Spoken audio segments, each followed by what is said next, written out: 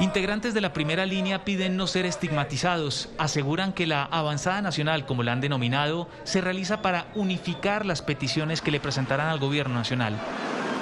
Es para unificarnos como líneas, como primera línea Colombia, para unificar también el pliego de peticiones dentro de las diferentes ciudades. A través de un comunicado rechazaron cualquier acto de violencia. Nos permitimos manifestar nuestro decidido acompañamiento para que se respeten los derechos. Del mismo modo, rechazamos con vehemencia todo tipo de agresiones, actos vandálicos y cualquier actuación al margen de la ley que vaya en contra de nuestra misión. Organizaciones no gubernamentales hacen un llamado para que las movilizaciones se desarrollen en paz. Que no haya eh, violencia, se espera que se den protestas pacíficas, se espera también que eh, el, Estado y que la fuerza pública violente a las personas que están siendo, eh, que están ejerciendo su derecho a la protesta y, que el uso de la fuerza pues no se, no se salga de los protocolos.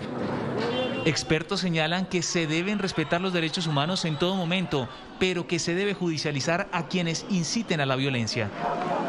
Incrementar las labores de inteligencia en aras de evitar e identificar posibles ataques de grupos armados al margen de la ley.